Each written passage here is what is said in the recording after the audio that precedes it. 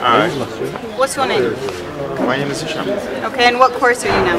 I'm in level 8. Okay, and what time do you take your course? About 9 uh, quarter, You mean quarter past nine? quarter, quarter past. Okay, and who is your teacher? Friday, Mr. Friday. Okay, do you take conversation? Uh, not, not all the time. Some, Okay. some classes. Some classes. Do you Yeah. feel you're benefiting here at MLC? Yes, I feel benefit in everything. Okay. No, no, uh, really, really. Um, I began uh, something and become something in English. Very nice. Now, can you look to the camera and tell me a little bit about yourself?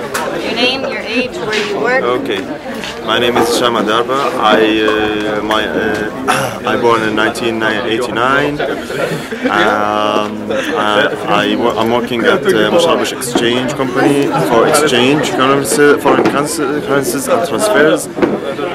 I uh, I've been studying here from 2012. I've been studying here uh, since uh, 2012. November 2012. And yes, Salvatore. And uh,